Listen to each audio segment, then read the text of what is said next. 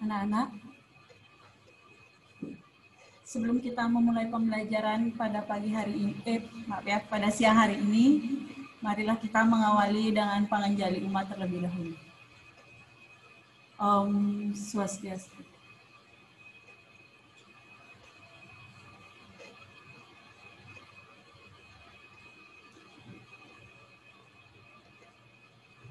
Seperti pesan Ibu sebelumnya, nanti kalau Ibu buka unmute-nya, usahakan kalau mau menjawab saja dibuka, kalau enggak tetap di mute, biar nanti bisa dengar suara Ibu. Kalau mau menjawab pertanyaan Ibu, silahkan angkat tangannya. Kalau tidak, bisa langsung di unmute saja.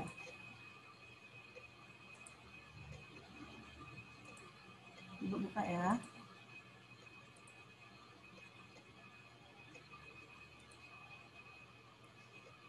Apa kabar hari ini anak-anak?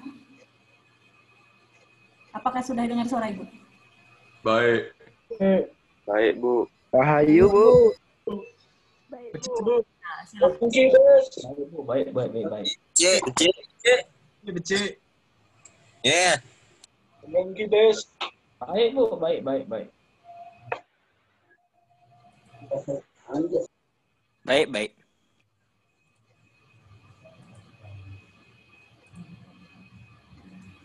Semoga semua dalam keadaan sehat dan masih tetap bersemangat dalam mengikuti pembelajaran daring pada siang hari ini. Sekarang kita kembali dalam pembelajaran pendidikan agama Hindu dengan Ibu, itu Ibu Risma. Kita awali dengan mengucapkan doa terlebih dahulu seperti biasa. Apakah ada yang mau memimpin mengucapkan doa anak-anak? Ini doa kan sudah setiap pertemuan kita ucapkan, kita lakukan. Siapa yang mau mengucapkan doa memimpin? Ayo angkat tangannya bisa di sana. Ada yang mau? Kalau tidak, kita awali dengan mengucapkan doa terlebih dahulu. Om Awigna Mastu Namasidam. Om Sidirastu Tan Astu Swaha. Semoga apa yang kita kerjakan pada pagi pada siang hari ini berjalan dengan lancar sesuai dengan tujuan yang ingin kita capai.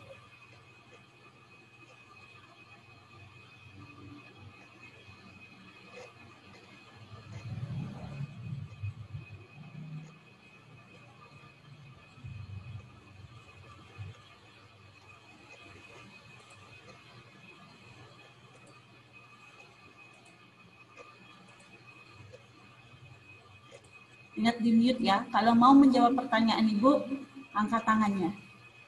Siapa yang masih ingat dengan materi yang kita bahas minggu lalu? Kita membahas tentang darsana. Siapa yang masih ingat apa saja yang kita bahas minggu lalu?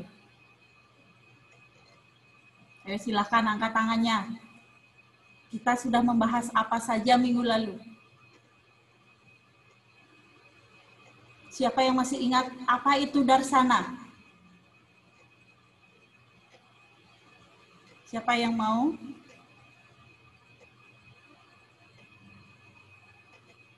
Dulu ya, lima.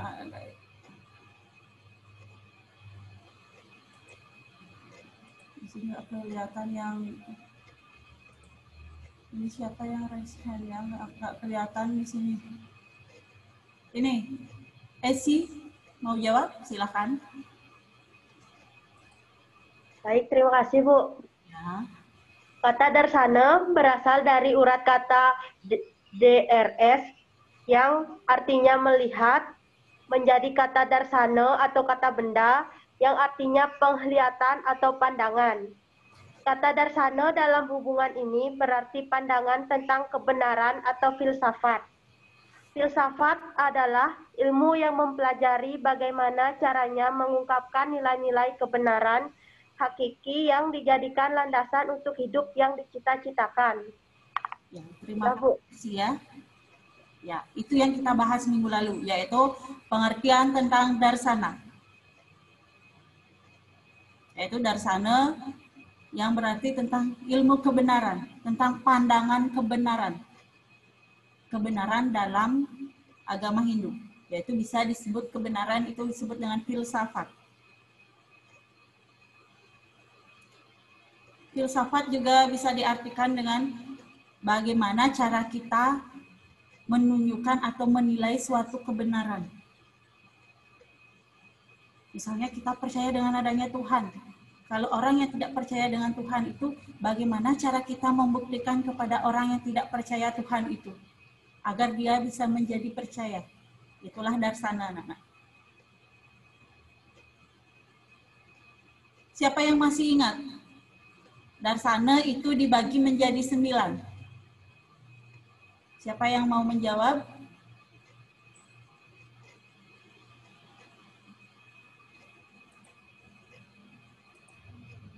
Bagian-bagian dari darsana. Siapa ini yang tangannya nggak kelihatan soalnya di sini?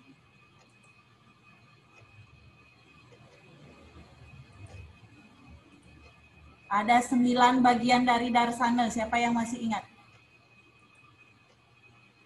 Nikadek Sri, 10 AP 6.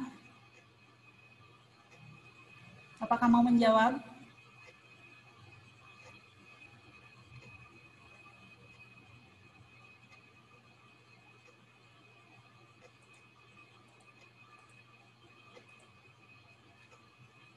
Sepuluh AP tujuh, ini ketut siapa ya tadi itu ya? Ya. Sepuluh AP tujuh. Sudah kedengaran, Bu? Sudah. Eh, Darsana dapat dibagi menjadi sembilan dan dapat dikelompokkan menjadi dua bagian, yakni kelompok Nastiko dan kelompok Astiko. Kelompok Nastiko adalah kelompok yang mengakui keberadaan Tuhan dan Weda. Sedangkan kelompok Astiko adalah aliran atau filsafat yang yang mengakui keberadaan Tuhan dan mengakui keberadaan Weda. Nastiko ini bagiannya ada Karvaka, Jaina, dan Buddhisme.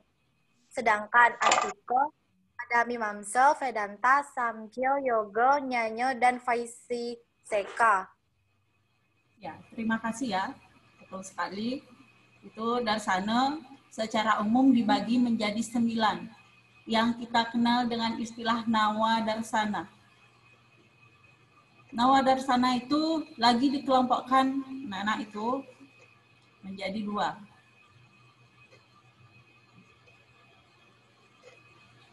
Yaitu ada kelompok golongan Nastika, sudah kita bahas sedikit minggu lalu. Yang kedua itu ada Astika. Di sini Nastika, seperti penjelasan temannya, pertegas lagi, Nastika itu adalah aliran filsafat yang tidak mengakui keberadaan Tuhan dan tidak mengakui adanya Weda. Tapi dia tetap beragama Hindu. Itu Ibu tekankan lagi. Dia beragama Hindu tapi dia tidak mengakui dengan adanya kitab suci Weda. Tapi dia melaksanakan persembahyangan tetap. Tapi dia tidak mengakui adanya kitab suci Weda. Itu Nastika. Nastika itu dibedakan menjadi tiga. Ada Carwaka, Jaina, dan Buddhisme.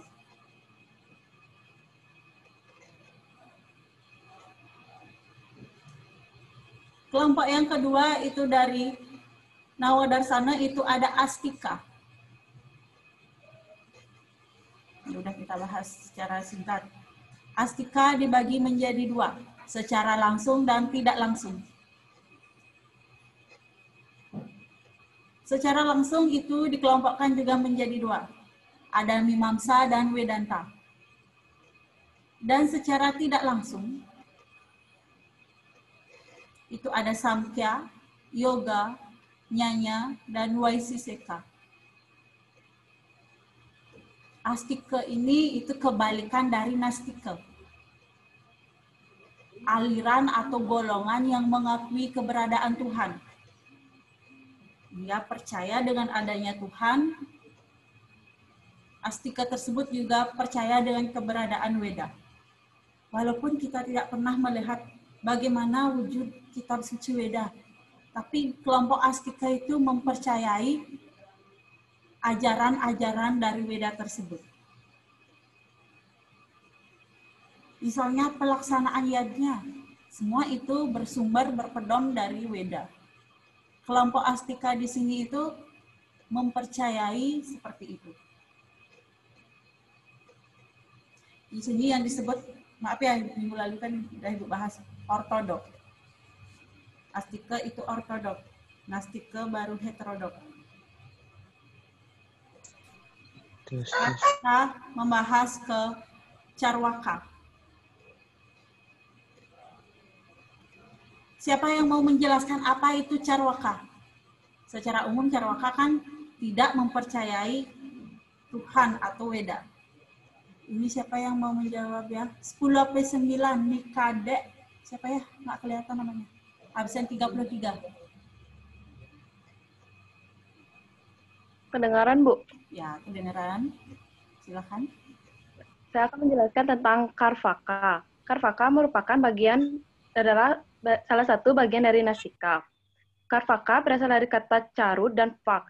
Caru berarti manis, sedangkan fak berarti ujaran. Karvaka berarti lidah manis yang bermakna kenikmatan duniawi yang menjadi tujuan tertinggi dari filsafat Karvaka ini. Carvaka tidak pernah percaya terhadap kepada surga, neraka, dan terhadap Tuhan yang menciptakan alam semesta atau heterodoks. Carvaka dikenali sebagai filsafat yang materialistis dan ateisme. Carvaka mengajarkan apa yang diinginkan oleh manusia yang lebih menitik beratkan untuk mencari kesenangan duniawi saja. Pendiri filsafat Carvaka ialah Bagawan Brahaspati dengan penekan pengajaran pada aspek material sebagai tujuan hidup tertinggi dan tidak percaya akan adanya kehidupan di akhirat. Sudah, Bu. Ya, terima kasih ya, sangat bagus sekali penjelasannya. Sekarang Ibu tambahkan sedikit lagi.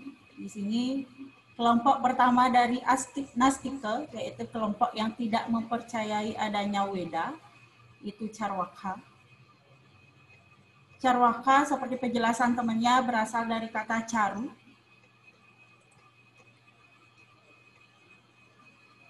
Dan fak. Caru di sini yang berarti manis, sedangkan fak yang berarti ujaran. Nah, di mana Carwaka sendiri itu yang berarti kenikmatan, kemanisan yang berada di duniawi saja. Itu artinya kenikmatan-kenikmatan yang seperti sekarang yang berada di duniawi saja hanya itu carwaka. Misalnya tentang kekayaan, pokoknya hal yang berbaur duniawisme. Itu carwaka. Hanya mementingkan duniawisme. Dia hanya mengakui, mempercayai bahwa carwaka itu hanya kenikmatan yang berada di semasih kita hidup saja Carwaka di sini tidak percaya dengan adanya surga, neraka, karma pala apalagi. Dia tidak percaya. Tidak percaya dengan adanya punar bawa. Ingat ya, Carwaka itu tidak mempercayai tentang adanya Pancasrada. Terutama itu tidak percaya dengan adanya Atman. Apalagi dia, tapi dia mempercayai dengan adanya Brahman. tidak mempercaya adanya karma pala, tidak mempercaya adanya punar bawa.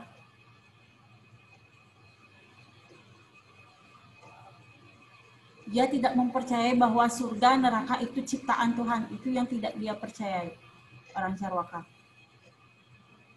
Carwaka dikenal sebagai sifat yang atau filsafat yang materialistis dan ateisme Materialitis di sini itu hanya memikirkan kekayaan, hal-hal yang bersifat duniawi yang hanya ada dalam kehidupan ini.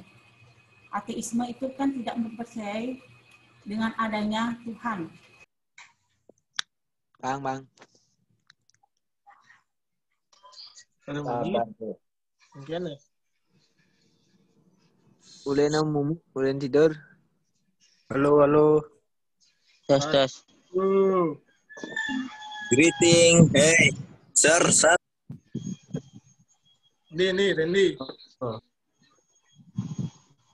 Kan, kan, ya kan, ya kan. Woi. Woi.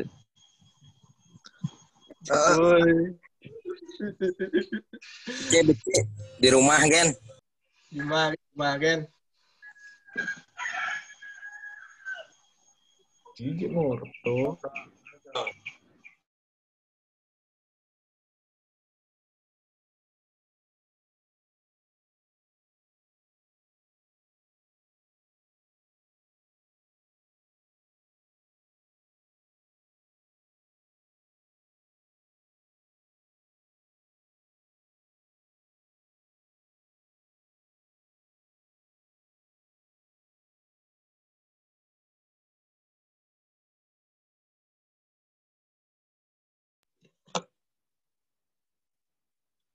Kak.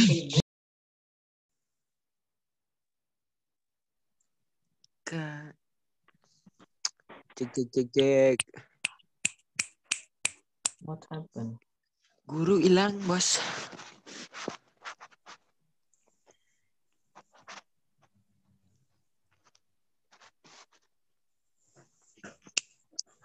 Kok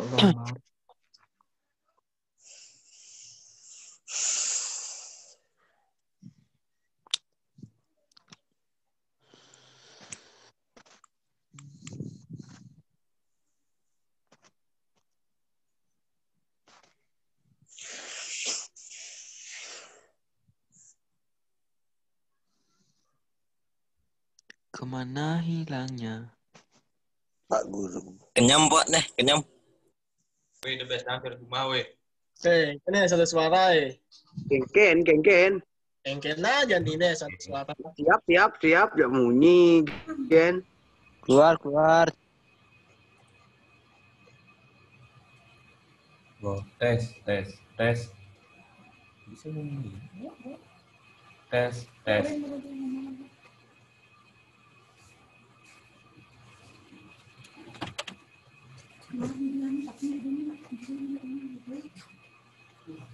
Hah?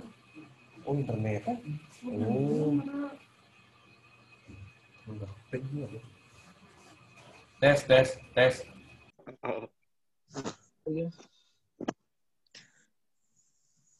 Gak diamuk ya, Pak. Kenci. Tes, tes, tes. Tes. Eh, bunyi bunyi. Eh. Jauh. Bang, nah, iya. Ini.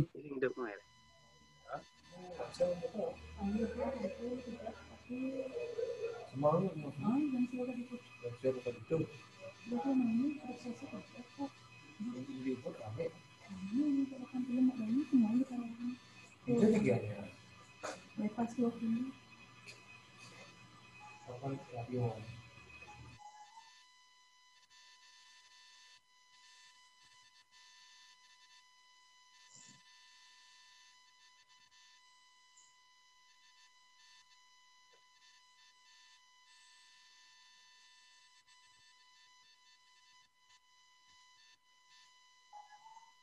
Ugi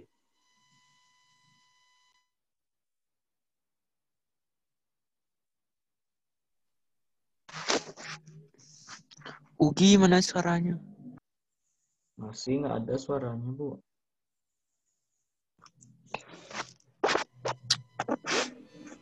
Apakah sudah dengar suara ibu? Belum, Dah. belum. Belum, Dah. belum, Bu. Nah, seperti biasa, di mute dulu.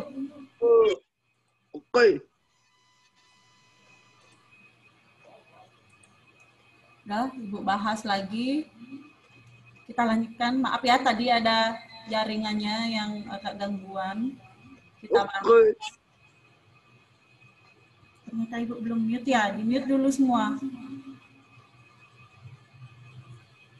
Carwaka itu golongan yang tidak mempercayai tentang adanya Tuhan, tapi dia tetap melaksanakan persembahyaan tetap. Dia tidak mempercayai adanya apa itu surga, neraka, karma pala, apalagi. Dia hanya mempercayai yang ada di alam nyata sekarang ini.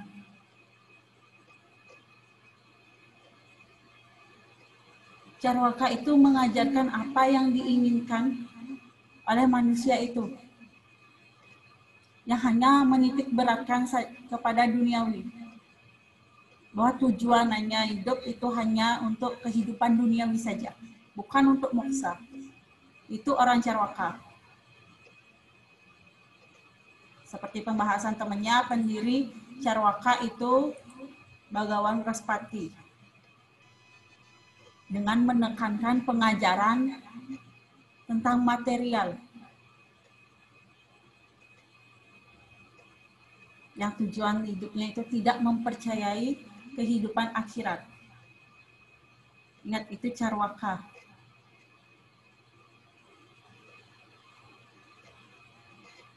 Ini ajaran Carwaka. Kalau kalian sudah ada buku paket, coba lihat buku paketnya. Ajaran Carwaka itu hanya mempercayai tentang adanya tanah, api, udara. Dia tidak mempercayai selain yang ada di alam ini. Dia mempercayai adanya tubuh manusia, hal-hal yang dilihatnya saja. Dia tidak mempercayai tidak adanya roh, dan dia hanya mempercayai adanya tubuh manusia saja. Tidak mempercayai dengan adanya Atman. Itu Carwaka. kepuasan dalam duniawi. Itu salah satu tujuannya. Kalau orang Carwaka itu orang yang tidak mempercayai terhadap Tuhan, karma pala, itu kematian adalah sebagai pembebasan. Kalau sudah mati, orang Carwaka tersebut berarti dia sudah bebas. Sampai di sana. Tapi kalau orang yang percaya dengan aj- ajaran Pancasrada, dia kan setelah orang meninggal itu kan tidak bebas. Kalau sudah mencapai moksa baru bebas. Ingat secara umum orang Carwaka itu tidak mempercayai Pancasrada. Dia hanya mempercayai duniawi. Pengikut Carwaka itu ada dua anak-anak. Yang disebut dengan Durta dan suksis, susiksita. Walaupun dia tidak percaya dengan adanya Tuhan, tapi pengikutnya itu ada yang bersifat licik yang tidak terpelajar. Yaitu susiksita itu bersifat terpelajar. Walaupun dia tidak mempercayai adanya Tuhan, tapi memiliki sifat yang baik dan terpelajar. Kalau dusta itu tidak mempercayai Tuhan dan sifatnya licik dan tidak terpelajar. Artinya sifatnya tidak baik. Inilah hal-hal contoh Carwaka yang tidak mempercayai adanya Pancasrada. Ibu mau tanya siapa yang mau membahas atau menjelaskan apa yang terdapat dalam gambar nomor 1 sampai nomor 5. Siapa yang mau menjawab? Silakan angkat tangannya. Dari segi mananya itu carwaka. Tidak percaya apa? Mbak dijelaskan. Siapa yang mau angkat tangan? Ini kan Pancasrada kelimanya dari gambar nomor 1 nomor 2, nomor 3, 4, dan 5.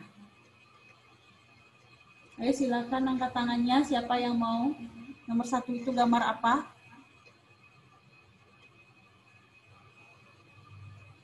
Misalnya Ibu berikan contoh satu ya, yang nomor 2 sampai nomor 5 anak-anak yang menjawab.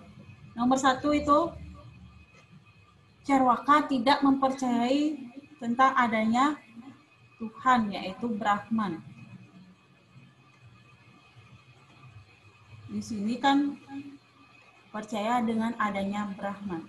Tetapi dalam Carwaka, gambar nomor satu ini tidak dipercayai. Walaupun dia melaksanakan persembahyangan, tetapi dia tidak mempercayai dengan adanya Tuhan anak-anak. Dia melaksanakan persembahyangan itu hanya untuk uh, melakukan seperti desa, bukan dia saya percaya dengan adanya Tuhan. Seperti kita, kita percaya dengan adanya Tuhan, walaupun kita itu tidak pernah melihat bagaimana wujud Tuhan secara nyata. Tetapi kita mempercayai. Ada orang Carwaka tersebut, dia walaupun dia bersembahyang, tapi dalam hatinya saya tidak percaya dengan adanya Tuhan. Tapi dia tetap melaksanakan persembahyangan. Itulah orang Carwaka. Yang nomor dua, siapa yang mau menjawab? Itu penjelasan dan kaitannya dengan Carwaka. Yang nomor dua ini, Tidak mempercayai adanya hukum karma palo. siapa yang jawab ya? Coba angkat tangannya biar ibu lihat. Bentar dulu. Udah ada tiga orang yang angkat tangan ini. 10 AP6, absen 30, Kadek Sri.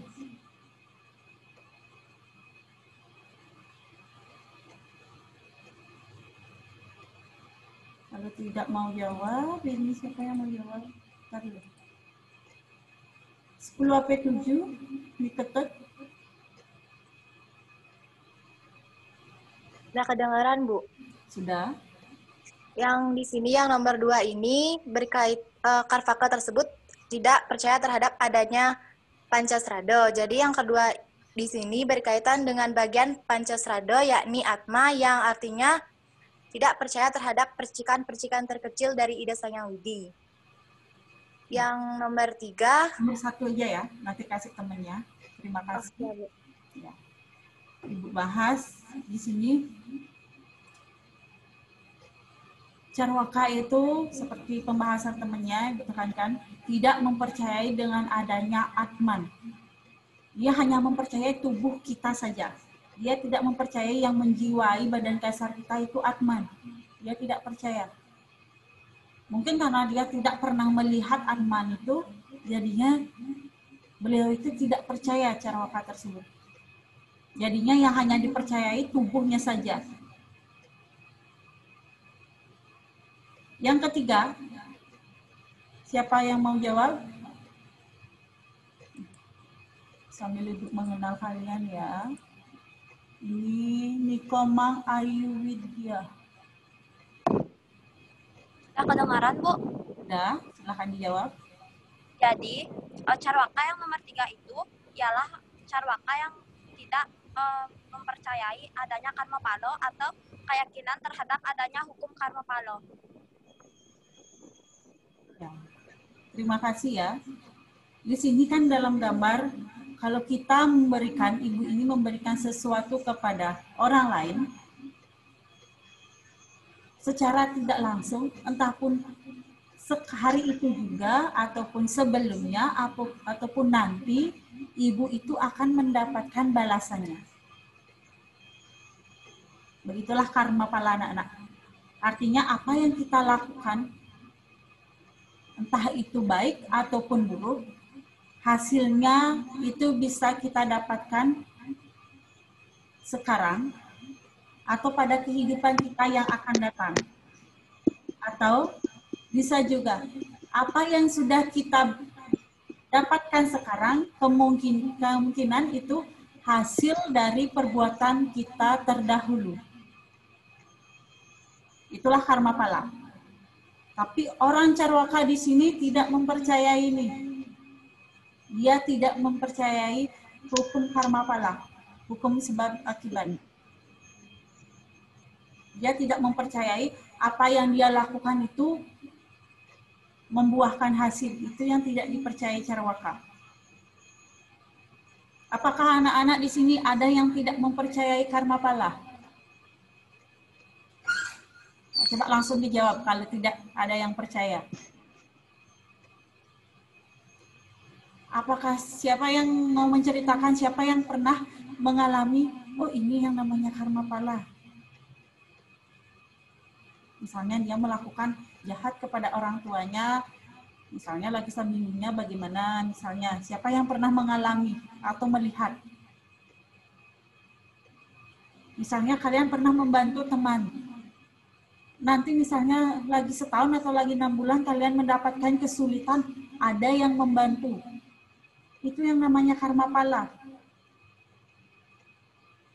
Baru misalnya karma pala baru kita memberikan misalnya sedekah ataupun uang misalnya tetapi tidak bukan uang yang kita dapatkan melainkan bantuan yang lainnya, karma yang lainnya.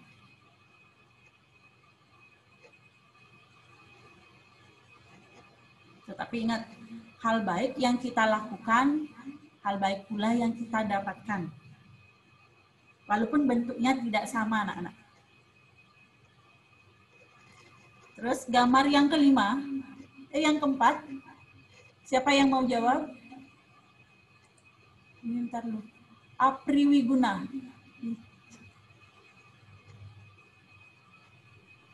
Sudah kedengaran, Bu? Sudah, silakan.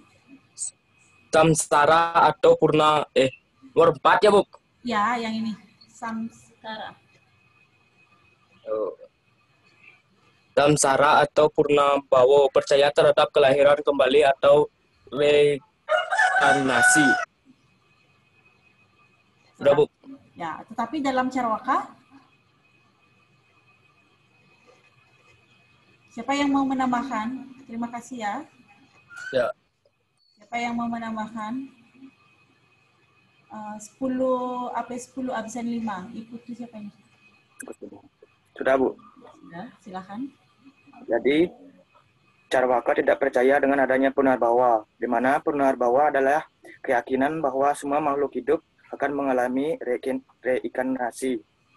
Jadi, Carwaka tidak mempercayai bahwa semua makhluk hidup akan mengalami reinkarnasi. Terima kasih, Bu. Terima kasih ya. Di sini gambar nomor 4 ini itu adalah gambar dari Punarbawa, di mana setiap Atman yang sudah meninggalkan badan kasarnya akan mengalami reinkarnasi, di mana jika Atman tersebut masih memiliki hutang atau masih terikat oleh duniawi, misalnya masih terikat oleh karma pala, dia otomatis akan lahir kembali. Masih terikat duniawi, otomatis atman tersebut setelah meninggalkan badan kasarnya, dia akan terlahir kembali, anak-anak. Tetapi Carwaka di sini dia tidak mempercayai dengan adanya punarbawa. Karena sudah pertama dia tidak percaya dengan adanya atman. Kan otomatis tidak mungkin dia mempercayai punarbawa. Yang kelima, siapa yang mau membahas gambar yang kelima? Siapa yang angkat tangan ya?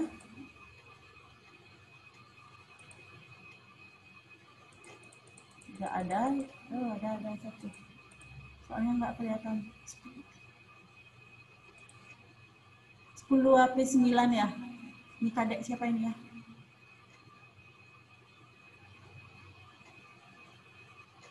Silakan, mau dijawab. Kedengaran, Bu? Oh, kedengaran. Eh, yang nomor lima itu tidak ter- tidak percaya terhadap moksa. Pada ajaran Karpaka, dia tidak percaya ter- terhadap adanya moksa, yaitu keyakinan akan bersatunya Atma dengan Brahman. Ya, terima kasih ya. Sangat sekali. Gambar yang nomor lima itu moksa, di mana Atman bersatu dengan Brahman. Atman yang sudah tidak memiliki terikatan oleh duniawi, dia akan bersatu dengan Brahman atau Ida Sang Yang Widi. Di situlah yang disebut dengan moksa. Tetapi dalam Carwaka, dia sudah tidak percaya dengan adanya Atman, karma pala, punarbawa, apalagi dia tidak mempercayai dengan adanya moksa. Dia tidak mempercayai dengan adanya Atman tersebut. Inilah kepercayaan dari Carwaka. Dia hanya mempercayai duniawi, kekayaan hal-hal yang ada di alam ini, dan setelah meninggal hanya sampai di sini saja. Itu yang dipercayai Carwaka. Hanya dalam sampai kematian saja. Berarti dalam Carwaka kematian itu sudah abadi anak-anak. Cukup sampai di sini. Setelah uh, meninggal, begitulah selesai gitu. Itu carwaka. Dia tidak mempercayai kelimanya ini dan dia percayai itu langsung begitu selesai menikmati duniawi meninggal sudah seperti itu saja. Itulah carwaka. Nastika yang pertama. Untuk minggu depan kita akan bahas lagi nastika yang kedua itu dengan ada banyak gambar. Nanti kita bahas silahkan pelajari nastika. Kalau sudah tahu materinya nanti ibu tanya silahkan kalian jawab sambil ibu mengenal kalian. Pelajari Jaina dan Buddha. Ibu lanjutkan pembelajaran kita minggu depan anak-anak ya. Hari ini kita cukupkan sampai di sini. Ibu tutup dengan mengaturkan para mesanti. Om Santi, Santi, Santi. Terima kasih anak-anak ya.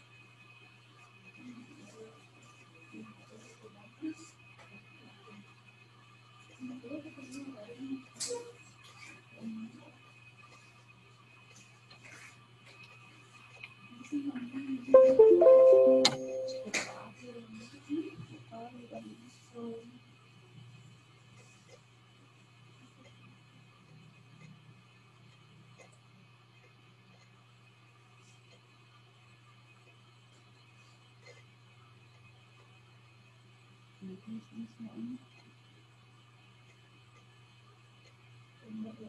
you.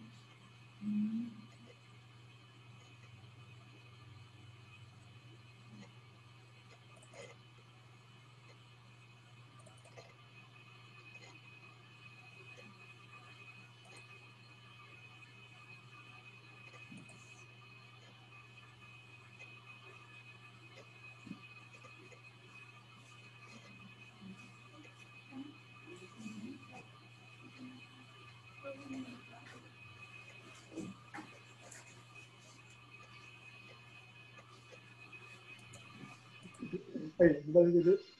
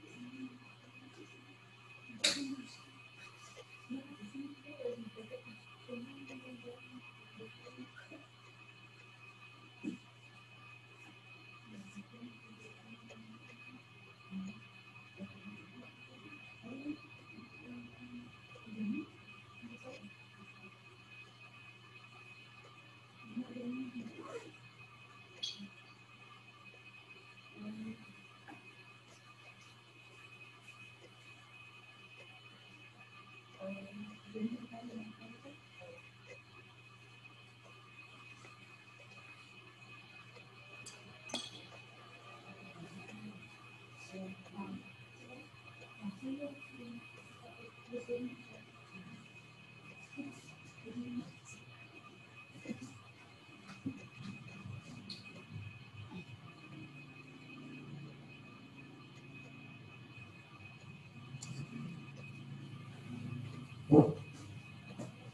Swastiastu.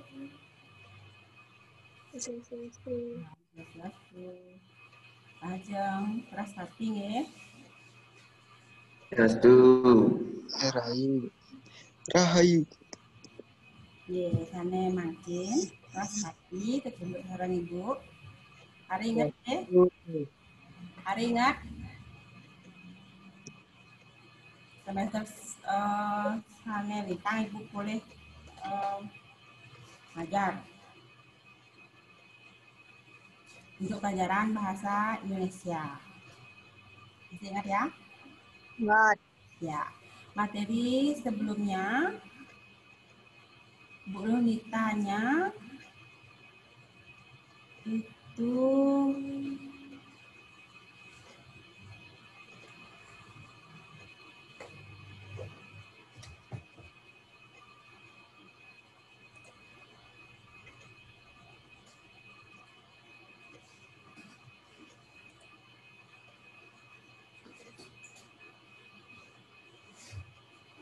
sampai di sini.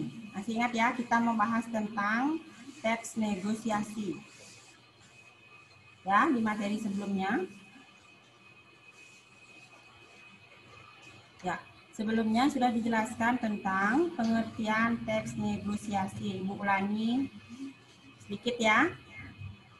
Ya, teks negosiasi adalah bentuk interaksi sosial yang berfungsi untuk untuk mencapai kesepakatan di antara pihak yang mempunyai kepentingan yang berbeda. Itu ada dua belah pihak yang melakukan proses negosiasi atau tawar menawar. Tujuannya untuk menyelesaikan perbedaan sehingga didapatkan sebuah kesepakatan. Itu dia teks negosiasi biasanya eh, anak-anak perempuan yang ikut ibu pasar biasa melakukan eh, negosiasi. Ya, misalnya mengatakan ibunya ke pasar membeli sayuran, daging, itu kan biasanya ada proses negosiasi atau tawar menawar yang dilakukan. Ada yang sering mengantar ibunya ke pasar? Ya, misalnya kalau pas membeli mangga satu kilo mangga. Harganya berapa? Kemudian ada proses tawar menawar itu dia negosiasi. Dapat dikatakan bahwa proses tawar menawar jual beli yang dilakukan itu adalah sebuah negosiasi. Sehingga nantinya didapatkan sebuah kesepakatan harga. Itu kalau dalam negosiasi jual beli Bisa dipahami sampai di sana?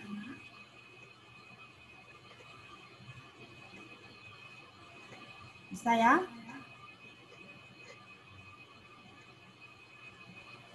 Ya, lanjut. Ya. Selanjutnya adalah ciri-ciri khusus teks negosiasi.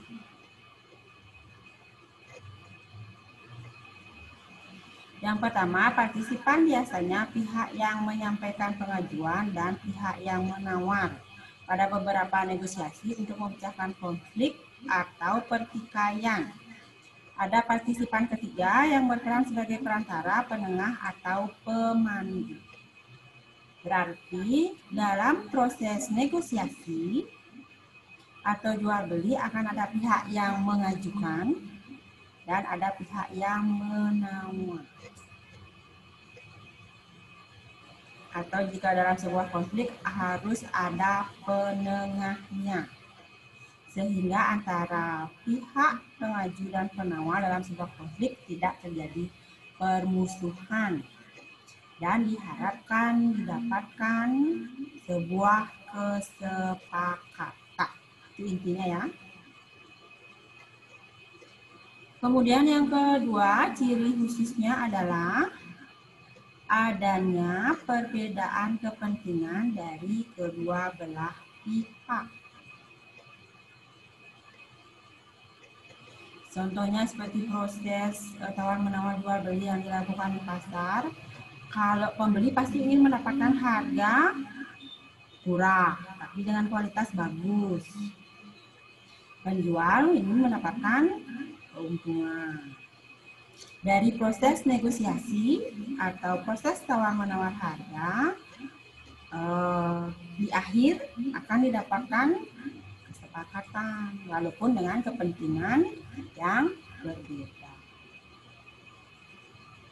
Yang ketiga, adanya pengajuan dan penawaran.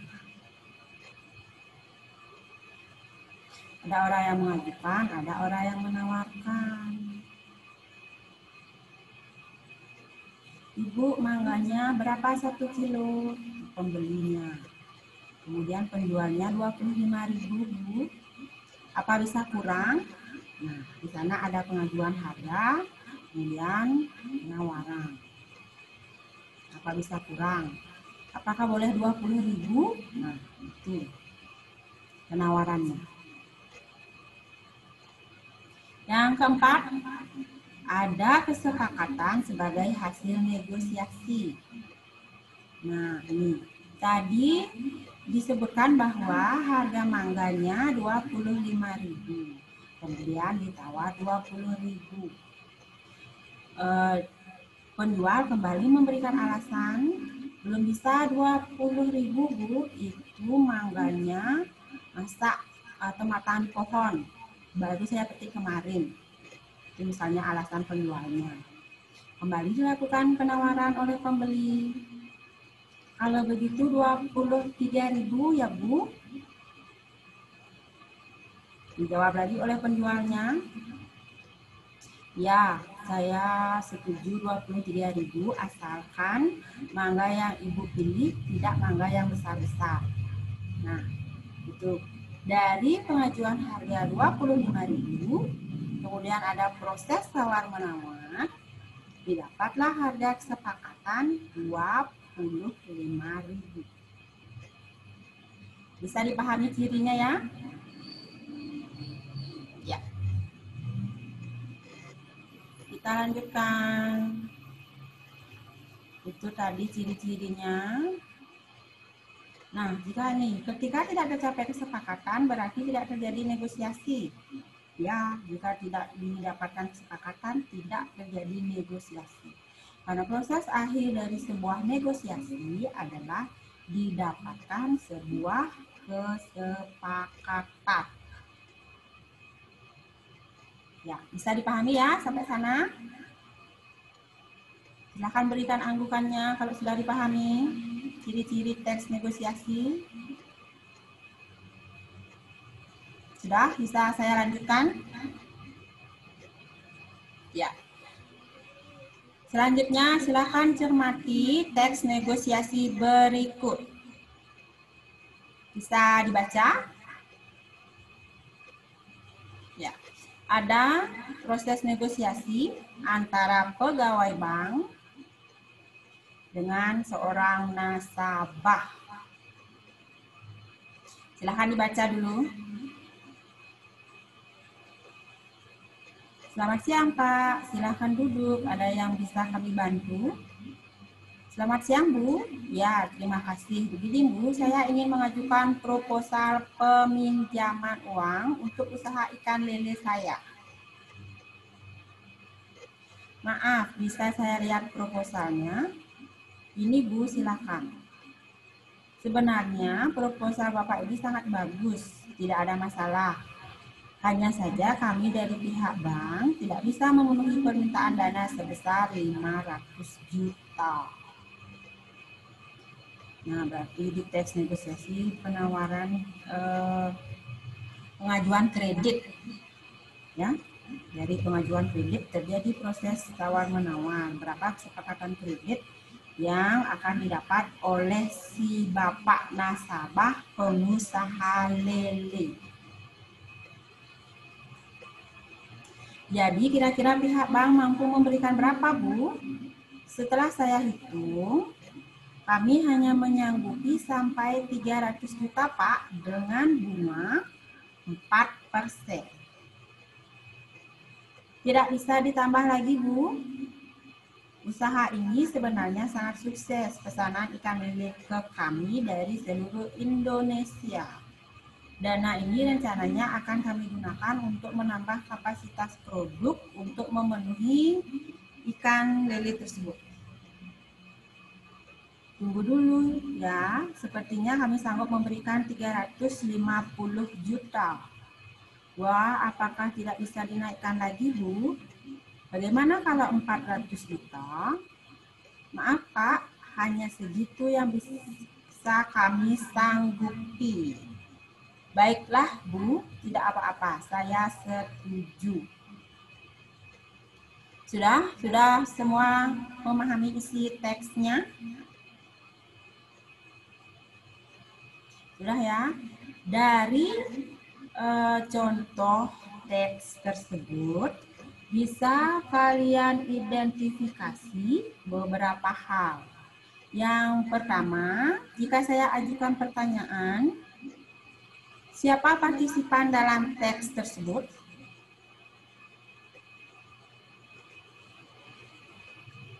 Siapa partisipannya? Ada pegawai bank dan nasabahnya. Ya, ada pegawai bank dan nasabah. Kemudian, jika ditanyakan apa isi teks negosiasi tersebut,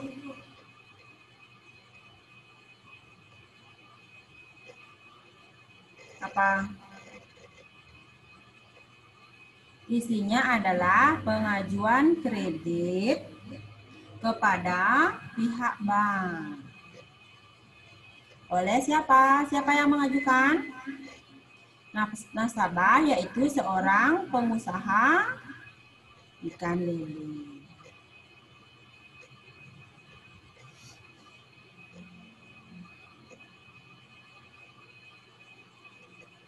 Ya, yuk dilanjutkan. Baru dua identifikasi. Identifikasi selanjutnya. Bagaimana proses negosiasinya? Berapa harga pertama yang, eh berapa harga? Maaf ya. Berapa jumlah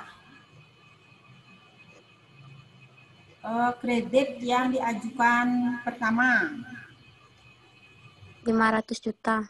500 Ah. juta, Bu. Itu. 500 Nah, juta. Kemudian eh, 500 juta. Ya, 500 juta. Kemudian kesepakatannya berapa akhirnya yang didapat? 350 juta. Tiga 450. Ya, 350 juta. Berarti dalam teks contoh, dalam contoh ada partisipannya, ada pengajuannya, ada penawarannya, dan terakhir didapat sebuah apa? kesepakatan. Ya, kesepakatan. Bisa dipahami ya? Ya, ayo kita lanjutkan. Nih, persyaratan-persyaratan tercapainya kesepakatan. Ada empat hal. Yang pertama, dilakukan dengan sopan santun.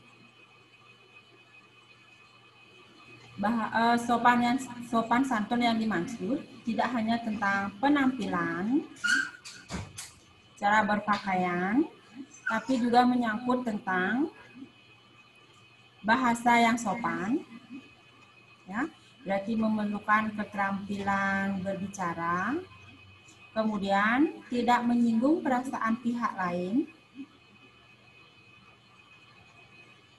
tidak bicara terus-menerus. Biasanya eh, yang sering terjadi adalah tidak eh, memotong pembicaraan lawan bicara.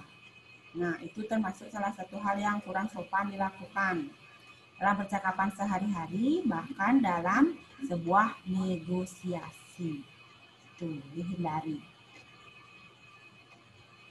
Kemudian syarat yang kedua, tidak ada tekanan atau paksaan. Baik pihak yang mengajukan maupun pihak yang menawarkan tidak terpaksa melakukan negosiasi tersebut tanpa tekanan dari siapa pun, baik dari pihak yang mengajukan maupun dari pihak yang menawar. Yang ketiga, saling menguntungkan. Dalam proses negosiasi, tidak ada salah satu pihak yang dirugikan.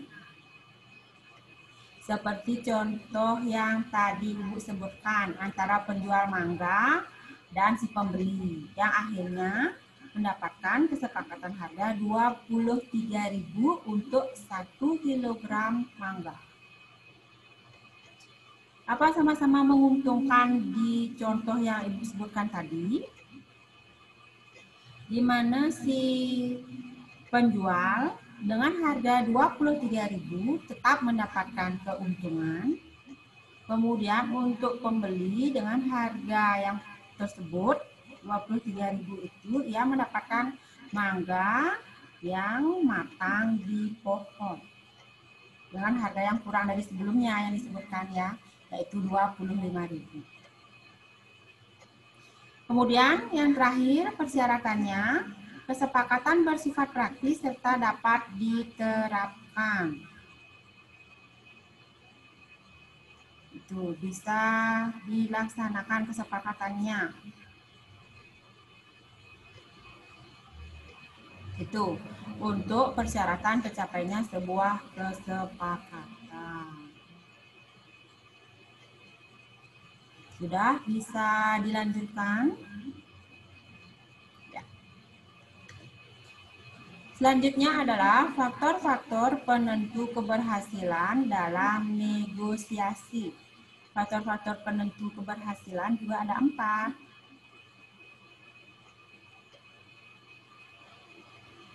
Yang pertama, kesediaan semua pihak untuk berkompromi dengan pihak lain.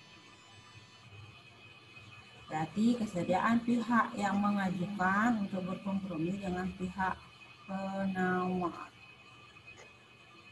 Ini untuk faktor yang kedua sama seperti yang sebelumnya, yaitu tidak ada pihak yang dirugikan.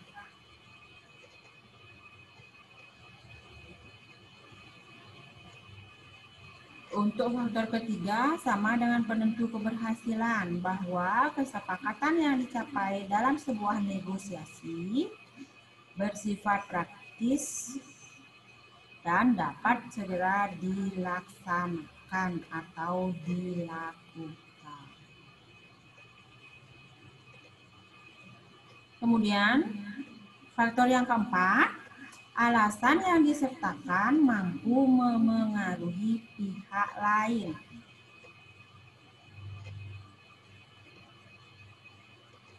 Ini ya. Untuk alasan yang keempat, Ibu ulangi lagi contoh yang sudah tadi Ibu sebutkan, yaitu proses negosiasi antara penjual mangga dengan si pembeli. Alasan pertama yang disampaikan bahwa mangganya tidak bisa ditawar di harga 20.000 karena mangganya matang di pohon dan masih segar, baru dipetik kemarin. Itu merupakan alasan yang disampaikan oleh pedagang. Alasan yang disampaikan berikutnya, dengan kesepakatan harga 23.000 si pembeli tidak boleh memilih mangga yang besar-besar saja. Jadi harus dicampur. Yang kecil juga isi, yang besar juga isi. Itu maksudnya alasan mampu memengaruhi pihak lain. Itu salah satu contohnya.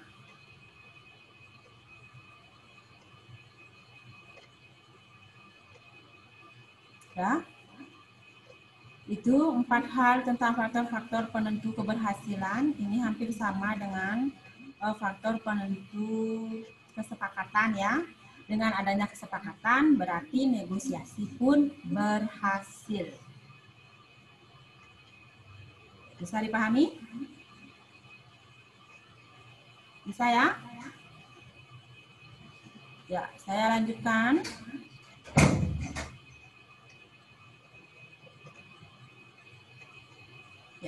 Dilanjutkan dengan pola-pola penyajian teks negosiasi.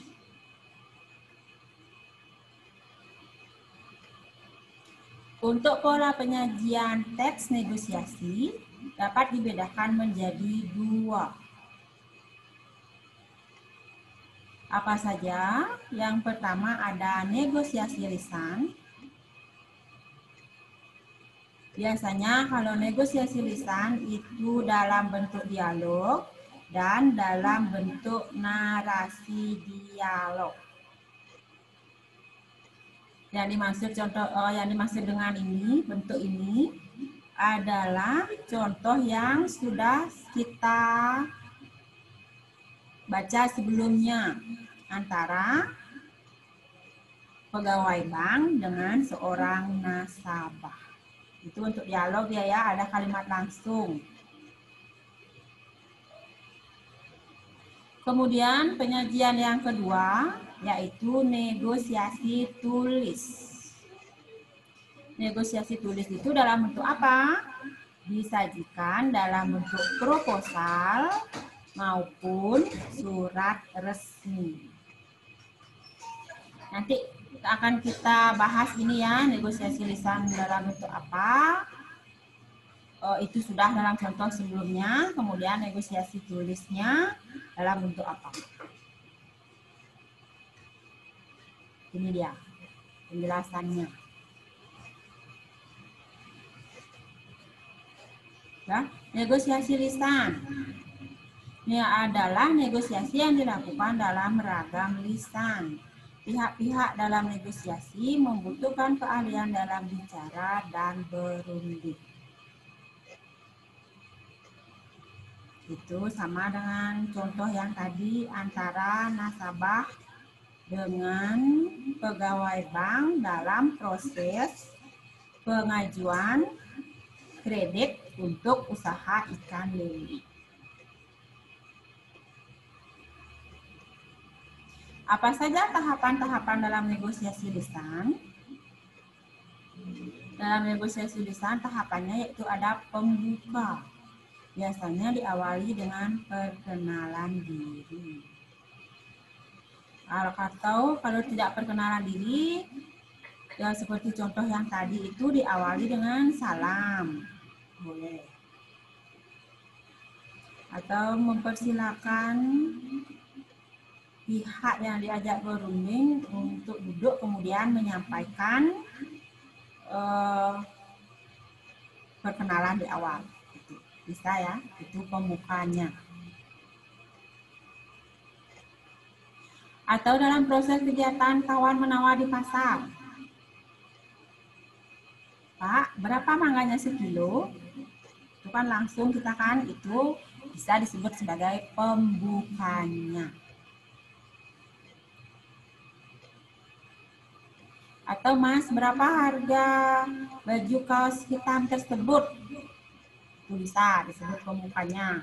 Karena tidak mungkin kan dalam proses uh, tawar menawar di pasar kita mengucapkan salam atau memperkenalkan diri.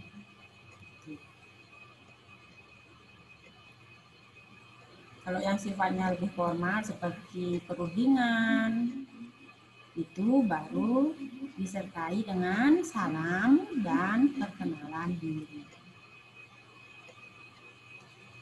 Kemudian tahapan yang kedua yaitu negosiasi. Proses negosiasi diawali dengan penyampaian tujuan negosiasi, kemudian perundingan dan kesepakatan. Kesepakatan itu ya, maaf salah kesepakan jadinya. Itu berarti di negosiasi di proses yang kedua ini terjadi proses tawar menawar. Seperti contoh yang tadi, itu nasabah bank menyampaikan alasannya tujuannya mengajukan kredit yaitu untuk usaha ikan lilinya. Eh, si nasabah meminta jumlah kredit yang cukup besar karena meyakini bahwa usaha ikan lilinya sedang ramai dan memasok eh, pesanan dari seluruh Indonesia sehingga didapatkan kesepakatan kredit sebesar 350 juta. Itu termasuk proses negosiasi lisan.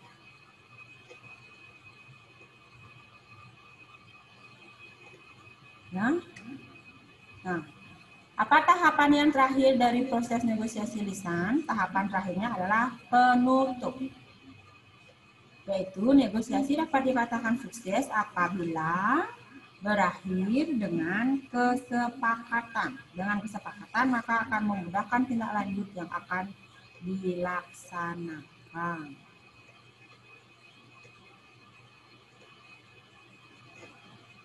Jika kalian menemukan sebuah teks tentang proses tawar-menawar, kemudian di akhir ada kesepakatan antara pihak yang mengajukan dengan pihak yang menawarkan, berarti negosiasi sudah terjadi dan teks tersebut termasuk teks negosiasi. Jika negosiasi tidak berakhir dengan kesepakatan, maka kedua belah pihak harus berbesar jiwa, berbesar hati, tetap bersikap positif dan tidak saling bermusuhan. Ini biasanya dalam sebuah perundingan. Bisa saja tidak didapatkan sebuah kesepakatan. Bisa dipahami sampai di sana? Ya. Dilanjutkan lagi sedikit tentang negosiasi tulis. Negosiasi tulis merupakan negosiasi dalam ragam bahasa tulis. Biasanya digunakan untuk melengkapi ragam negosiasi lisan secara formal. Negosiasi tulis berguna untuk mencapai persetujuan dengan jalan menggunakan ragam tulis. Dalam bentuk apa? Negosiasi tulis yaitu dalam bentuk proposal maupun surat.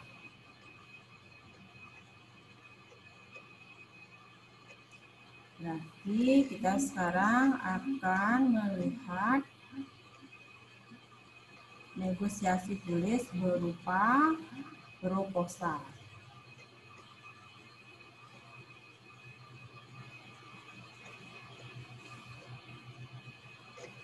Sudah pernah um, membaca, melihat belum melihat atau membaca sebuah proposal? Sudah? Ada yang sudah pernah?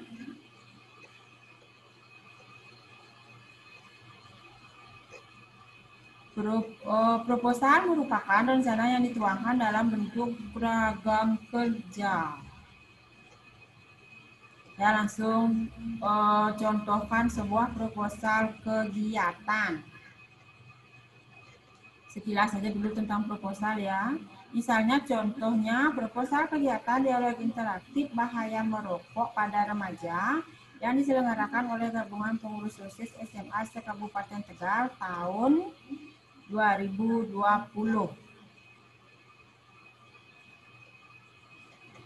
Dalam proposal itu dilengkapi dengan latar belakang, identifikasi masalah, tujuan, manfaat, lokasi, dan waktu pelaksanaan, program kegiatan, anggaran biaya, dan penutup. Nanti akan dijelaskan lebih lanjut tentang negosiasi tulis dalam bentuk proposal.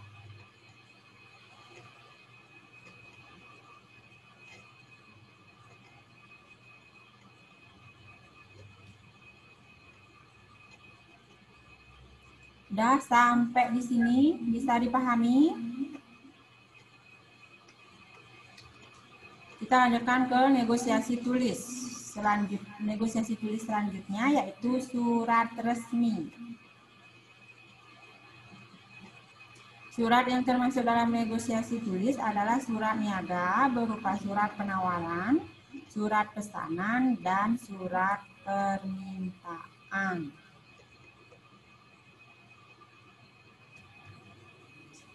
Ini contohnya, bisa dibaca ya? Atau ini? Contoh surat penawaran. Bisa kalian baca? Dari PT Cahaya Elektronik. menawarkan beberapa barang elektronik yang dijualnya kepada Ibu Trisulistiyorini di toko Abadi Jaya. Dalam surat tersebut dilengkapi dengan barang-barang apa saja yang ditawarkan dan harga. Jadi bisa lihat di kolomnya ya. Ini contohnya. Sampai di sini bisa dipahami? Untuk negosiasi. Jenis negosiasi. Ada tulis, ada lisan, kemudian yang dalam bentuk lisan, dalam bentuk dialog dia dibuatnya. Kemudian dalam bentuk tulis ada proposal dan ada surat permintaan, penawaran, atau pemesanan. Sampai di sini untuk jenis-jenis negosiasi, uh, bentuk negosiasi, bisa dipahami? Bisa ya? Ya. Uh, karena waktunya kita akhiri pelajaran kita tentang tes negosiasi. Nanti pertemuan berikutnya akan dilanjutkan oleh Bu Luhnita Yantinya. Ya, kita tadi sudah belajar tentang ciri-ciri khusus teks negosiasi. Kemudian kita belajar tentang hal-hal yang menentukan keberhasilan sebuah negosiasi. Kemudian hal-hal yang menentukan uh, didapatkan sebuah kesepakatan dalam negosiasi. Kalian juga sudah mengidentifikasi sebuah teks negosiasi. Kemudian ada dua bentuk negosiasi, yaitu ada bentuk lisan dan tulis. Dalam lisan dan dalam tulis.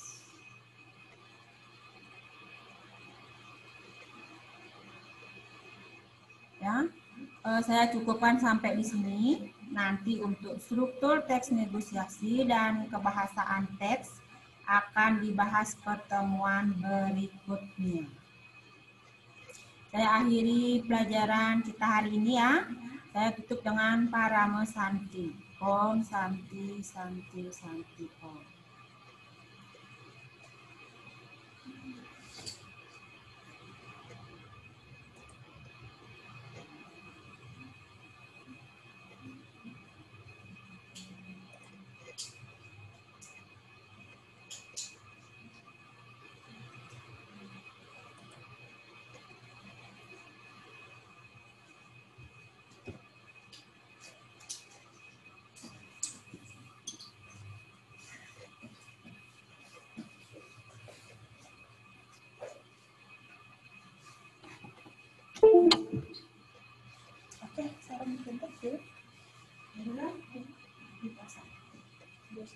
Satu dengan kelas satu dengan kelas sebelas, kadang-kadang kelas tujuh.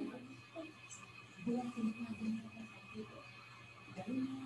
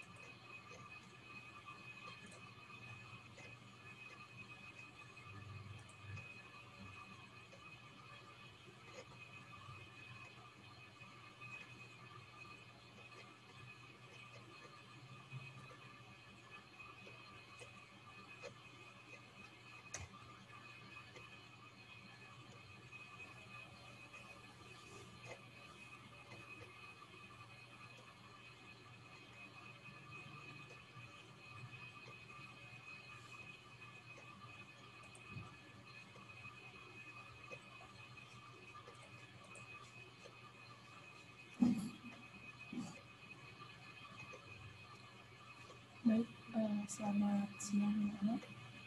Untuk hari ini di mapel sanitasi, Ibu yang mengisi dan melanjutkan materi ke bab 3. Jadi bisa kalian cek di buku pegangan kalian, buku paket kalian masing-masing. Di bab 3 yaitu kesehatan kerja. Baik, untuk mengawali pembelajaran kita siang ini, kita awali dengan perambahan diri. Eh, kalimat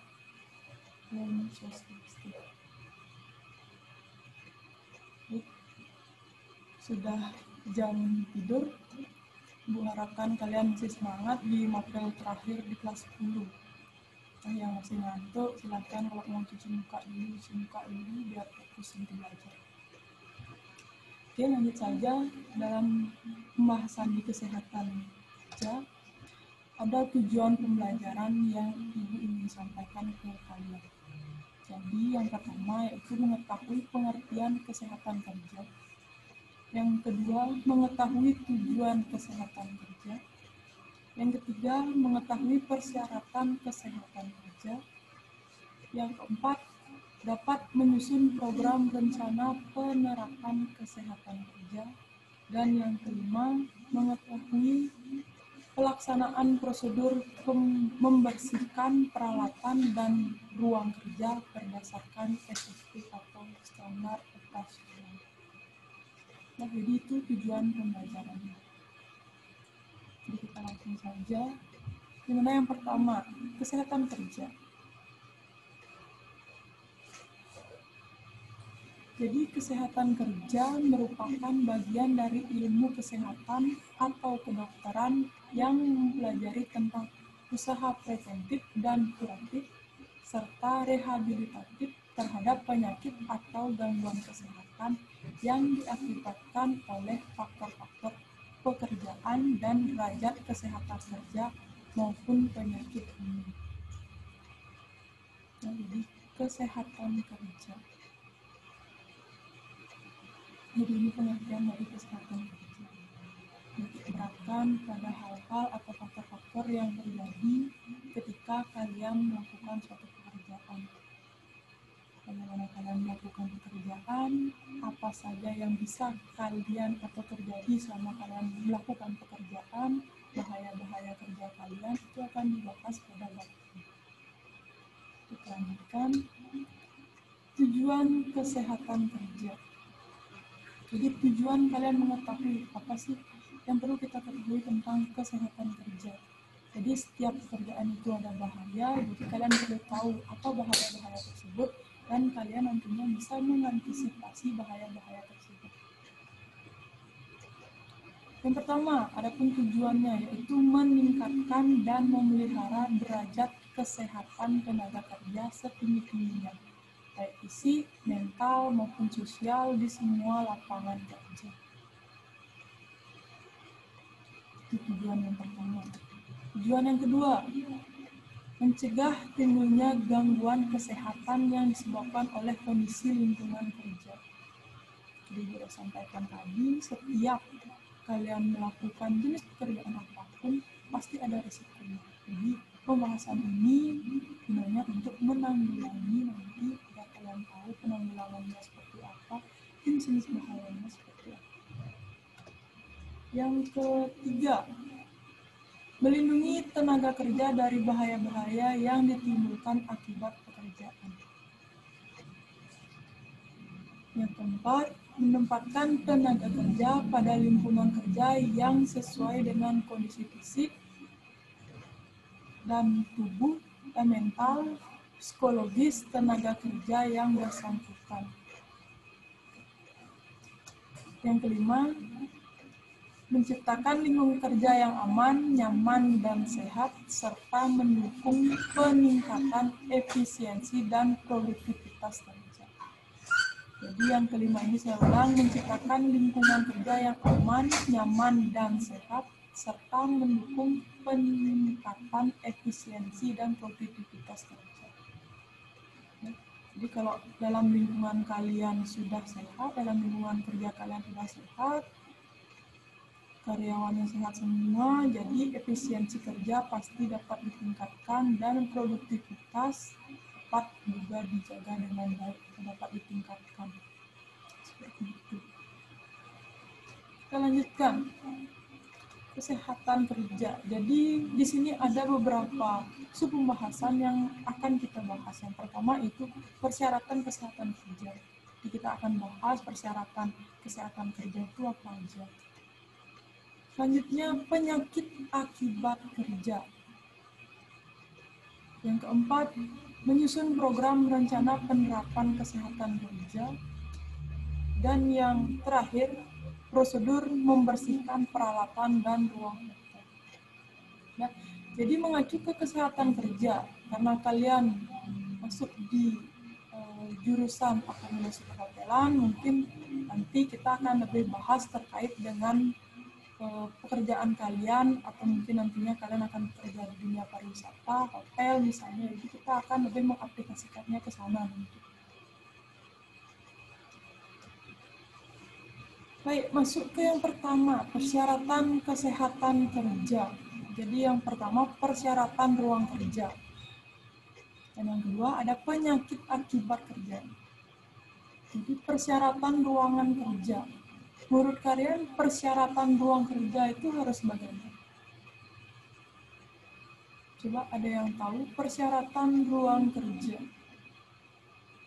Di sini ada dua orang yang mengangkat tangan. Coba Nikade Sudiaryantini. Kedengaran, Bu? Kedengaran, silakan. Uh, persyaratan ruang kerja itu contohnya bersih. Yang kedua itu udara ruangan yang sehat.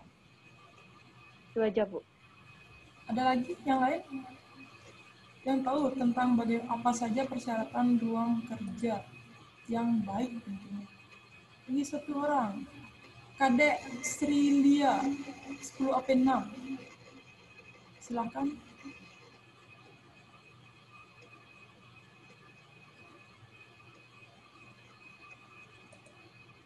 Silakan ini Kadek Sri Lia Utami. Oh, kita ganti saja ya. 10 AP 7 Diketut Widiani. Kedengaran, Bu. Kedengaran, silakan. Eh, Persyaratan ruang kerja yang pertama adanya air bersih, Eh, kedua udara ruang yang sehat, ketiga pengolahan limbah hotel, keempat pengaturan cahaya hotel, kelima pengendalian vektor penyakit, keenam menata ruang dan bangunan, ketujuh adanya toilet, kedelapan pengaturan instalasi.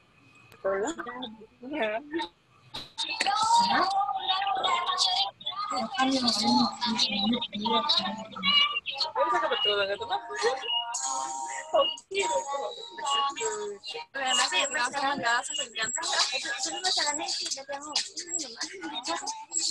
yang lain.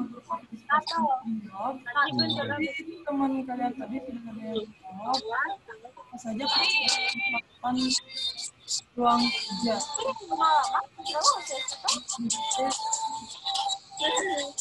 Mas Andri sebelum bergaul deh. Ya? Lama-lama kan Silakan lanjut ya. Ini ada cara kalau bergaul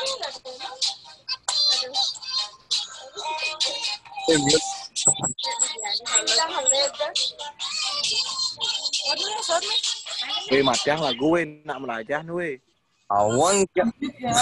Fokus belajar dulu.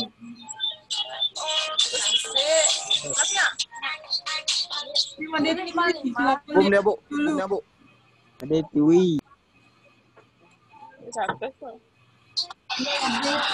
silakan diambil dulu. Nah, kita lanjutkan. Jadi sudah masuk ke persyaratan ruang kerja. Jadi teman kalian sudah ada yang membahas, juga sudah ada, kita bahas sedikit.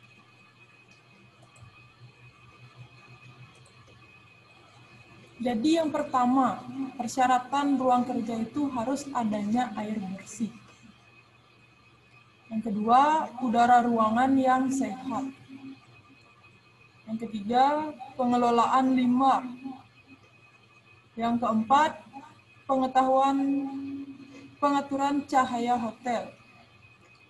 Yang kelima, pengendalian vektor penyakit. Yang keenam, menata ruangan dan bangunan. Yang ketujuh, adanya toilet. Dan yang terakhir, pengaturan instalasi. Nah, jadi kita bahas satu-satu dari adanya air bersih.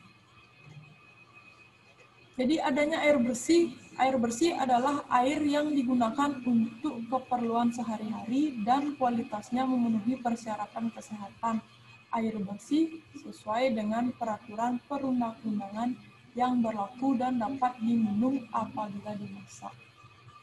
Air bersih harus memenuhi persyaratan fisika, kimia, mikrobiologis, dan radioaktif sesuai dengan Kemenkes nomor 907 garing SK garing 7 garing 2002 tentang syarat dan pengawasan kualitas air minum.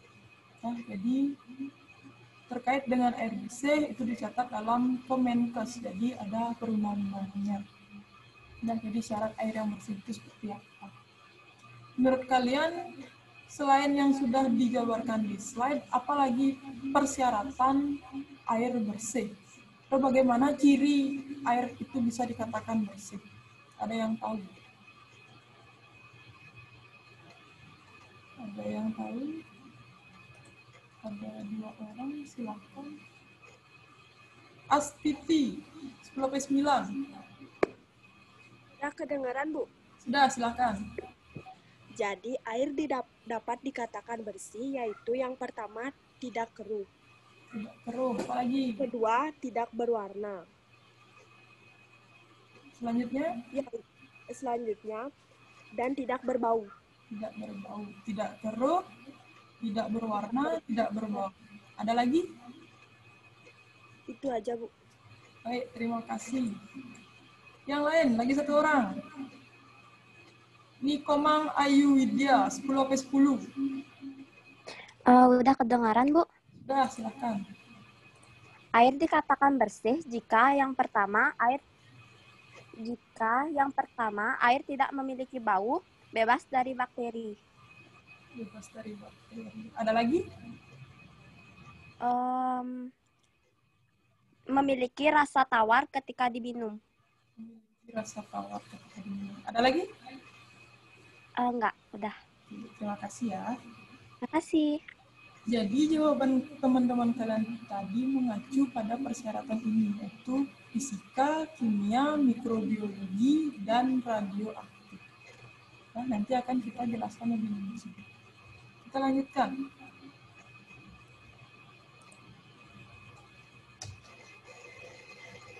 Tata cara pelaksanaan adanya air bersih. Jadi dari sumber mana saja air bersih bisa kalian dapat. Jadi yang pertama, air bersih dapat diperoleh dari PAM, PDAM. Ya, sumber air tanah atau sumber lain yang telah diolah. Selanjutnya, distribusi air harus menggunakan pipa. Ya, jadi kenapa pipa? Jadi kalau didistribusikan dengan alat lain, misalnya menggunakan eh, apa namanya eh, selang, mungkin higienitasnya tidak bisa diuji atau kadar airnya nanti bisa berubah kalau kalian menggunakan selang minimal pakai pipa. Pipa pun yang sudah harus SNI. Selanjutnya yang ketiga, sumber air bersih dan saluran distribusinya harus bebas dari pencemaran fisik, kimia, dan bakteriologis. Itu harus biar nanti airnya tidak tercemar. Yang keempat, sampel air bersih untuk pemeriksaan laboratorium diambil dari sumber atau bak penampungan minimal dua kali dalam setahun. Nah, jadi terus setiap dua kali dalam setahun itu diadakan pengecekan.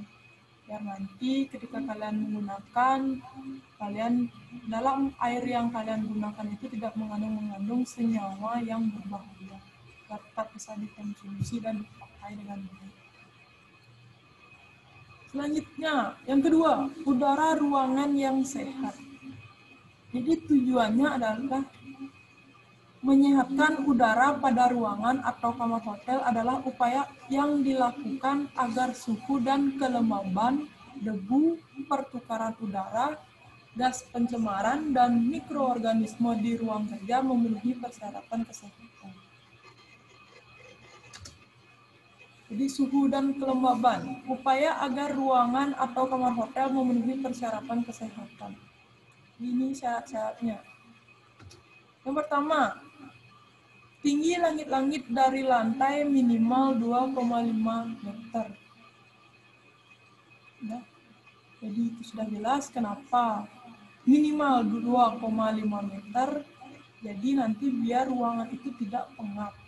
Jadi sirkulasi udara masih tetap terjaga.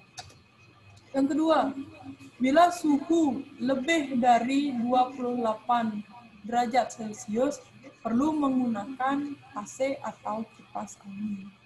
Nah, itu tujuannya biar kalian tidak kepanasan. Yang ketiga, bila suhu udara luar kurang dari 18 derajat Celcius, perlu menggunakan pemanas ruangan. Nah, tapi di sini jarang ya, kurang dari 18 derajat Celcius. Mungkin kalau luar negeri itu masih. Tapi kalau di Indonesia, belum Kak. Selanjutnya, suhu dan kelembaban. Bila kelembaban ruangan kerja, yang pertama, lebih dari 60% perlu menggunakan alat dehumidifier. Ya. Yang kedua, lebih dari 40 40% perlu menggunakan alat humidifier. Jadi saya jelaskan, humidifier dan dehumidifier merupakan sebuah alat yang bisa dikatakan sebagai mesin yang berhubungan dengan kadar air di udara. Namun sementara dehumidifier menambahkan atau meningkatkan tingkat kelembaban udara ruangan, dehumidifier menghilangkan itu. Jadi kebalikannya. Jadi fungsinya antara dehumidifier dan humidifier itu berbeda. Nah, jadi kalian udah tahu ini jenis alatnya. Yang di sebelah kiri humidifier, yang di sebelah kanan dehumidifier. Nah, jadi fungsinya adalah yang humidifier menambahkan atau meningkatkan tingkat kelembaban udara ruangan, sedangkan dehumidifier menghilangkan atau merendahkan tingkat kelembaban. Ya, jadi merendahkan. Nah, ini untuk alatnya. Mungkin untuk humidifier ini beberapa sudah ada yang memakainya di rumah. Ini sudah lazim kayaknya sekarang. Selanjutnya adalah masih di persyaratan ruangan kerja, yaitu debu. Debu juga harus diperhatikan karena itu mengacu tentang kebersihan. Di mana upaya agar kandungan debu di dalam ruangan atau kamar hotel memenuhi persyaratan kesehatan. Nah, jadi upaya, upayanya yang pertama yaitu kegiatan membersihkan ruangan dilakukan dan sore hari dengan menggunakan kain pel basah atau pompa hampa, pump, vakum pump atau vakum cleaner. Yang kedua, pembersihan dinding dilakukan secara periodik dua kali dalam setahun dan dicat satu kali dalam setahun. Itu juga berpengaruh pada kelembaban ruangan nanti. Juga debu, misalnya kalau misalnya uh, dinding kalian sudah jamuran itu perlu dicek ulang. Selanjutnya yang ketiga, sistem ventilasi yang memenuhi syarat. Itu harus misalnya kalau ruangan kalian tidak ada ventilasinya, uh, tentu sirkulasi udara dalam ruangan kalian tidak baik. Dah pengap nanti di dalam di dalam ruangan kalian. Nanti untuk ventilasi ketentuannya seperti apa nanti kita jelaskan di slide berikutnya. Selanjutnya ada pertukaran udara. Adapun upaya agar pertukaran udara di dalam ruangan atau kamar hotel dapat berjalan dengan baik yaitu upayanya adalah yang pertama untuk ruangan ber-AC harus memiliki lubang ventilasi minimal 15% dari luas ruangan. Nah, jadi jangan bilang kalau ruang ber-AC itu harus ditutup semua. Jadi tidak. Jadi harus memiliki ventilasi minimal 15% dari luas ruangan. Ya, misalnya ada apa namanya rongga di, di pintu kamar kalian itu masih bisa. Asal bisa sedikit masuk untuk pertukaran udara. Selanjutnya yang kedua, AC dalam ruangan harus dimatikan dan diupayakan mendapat pergantian udara secara alamiah. Jadi tidak non-stop kalau kalian pakai AC di kamar kalian atau di ruang kalian tidak non-stop 24 jam dipakai. Nah itu bisa, walaupun kalian menggunakan AC tetap udara bisa tercemar. Nah jadi tetap buka pintu kalian sesekali, matikan AC-nya, buka jendela kalian agar ada filtrasi untuk udara di ruangan kalian. Yang ketiga, membersihkan saringan atau filter udara secara periode. Selanjutnya, gas pencemar. Masih di persyaratan ruang kerja ya. Jadi adapun upaya agar kandungan gas pencemar di dalam ruangan atau kamar hotel tidak melebihi konsentrasi maksimal. Yang pertama adalah upayanya pertukaran udara ruangan diupayakan dapat berjalan dengan baik. Yang kedua, ruang penting tidak berhubungan langsung dengan dapur. Jadi kenapa tidak dihubungkan langsung dengan uh, dapur? Nanti alasannya adalah bisa misalnya kalian sedang melakukan aktivitas dapur, misalnya menggoreng atau gimana, atau kalian membuat sesuatu di dapur kalian yang menimbulkan bau, ya misalnya kalau masak uh, sambal misalnya, kalau kamar kalian dekat atau ruangan kalian dekat dengan dapur tersebut, otomatis baunya kan masuk ke kamar kalian atau ruangan kalian itu mungkin bisa jadi pengap, ya karena ada unsur panasnya dan darahnya tercemar dan selanjutnya mungkin saja terjadi bersin-bersin. Ya, kalau orang sambal itu kan biasa bersin-bersin. Yang ketiga, dilarang merokok di ruangan. Ini yang cowok-cowok biasanya. Karena apa? Satu, udara di kamar kalian tercemar. Yang kedua, kandungan-kandungan dalam rokok itu kan karena ada asap, nah bisa saja nanti menempel di ruangan kalian, misalnya di baju kalian, di kasur kalian, di spray kalian, itu kandungannya tetap nempel.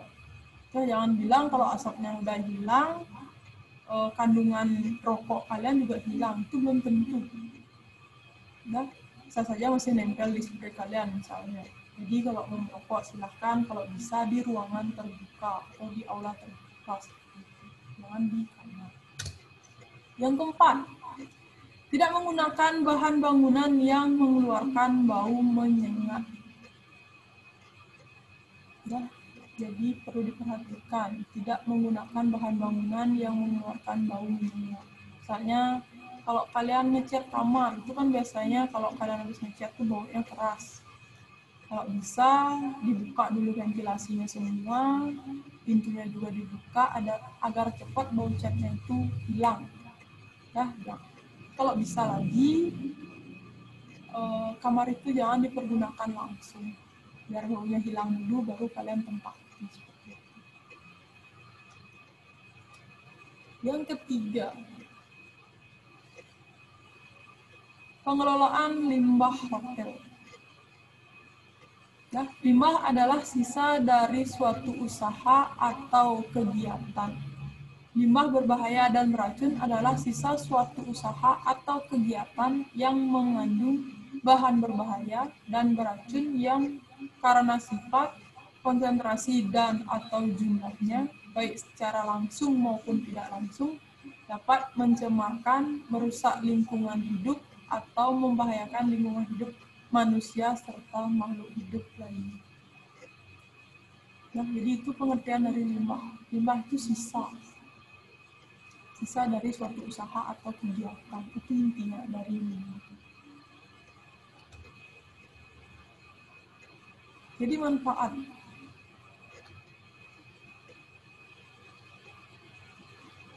Manfaat dari pengolahan limbah hotel.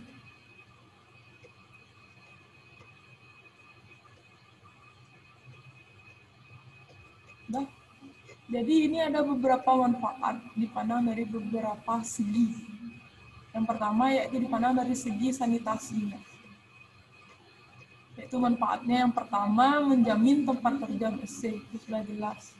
Sampah sudah diolah dengan baik, tentu sudah menjamin tempat kerja tersebut bisa kelihatan dan dirasakan bersih. Yang kedua, mencegah timbulnya penyakit. Yang ketiga, mencegah terjadinya pencemaran lingkungan. Itu manfaat pengolahan limbah hotel dari segi sanitasi. Selanjutnya, dipandang dari segi ekonomi.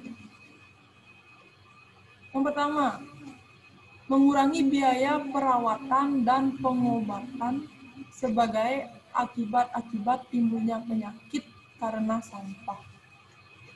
Yang kedua, tempat kerja yang bersih dapat menambah gairah kerja, produktivitas, dan efisiensi kerja. Nah, jadi itu udah pasti. Kalau lingkungan kalian sudah bersih, tentu kalian gairah kerjanya semakin tinggi. Kan kita mulai seperti itu. Nah, kalau sudah kotor seperti itu, terkecuali kalau orang yang udah biasa hidup kotor ya. Kalau yang udah biasa hidup bersih, lingkungannya bersih, ketemu tempat yang jorok, pasti ngekop. Ya, nggak semangat kerja, produktivitasnya menurun. Dia nggak efisien nanti kerjanya. Selanjutnya yang ketiga, tempat yang bersih menarik banyak tamu atau pengunjung hotel. Itu sudah jelas. Misalnya kalian pernah booking hotel di misalnya situs online, misalnya seperti Traveloka. Sana pasti dikasih review. Pertama pasti kebersihannya, kedua lingkungannya seperti apa, sudah jelas. Minimal bersih, menarik, itu yang harus kalian tonjolkan ketika kalian apa namanya uh, memperkenalkan lingkungan kalian atau misalnya tempat kerja kalian. Yang keempat, mengurangi kerusakan-kerusakan yang membutuhkan biaya perbaikan. Ya, jadi karena sudah diolah limbahnya dikelola dengan baik, nanti tentu kerusakan-kerusakan yang menimbulkan biaya banyak itu bisa ditanggulangi.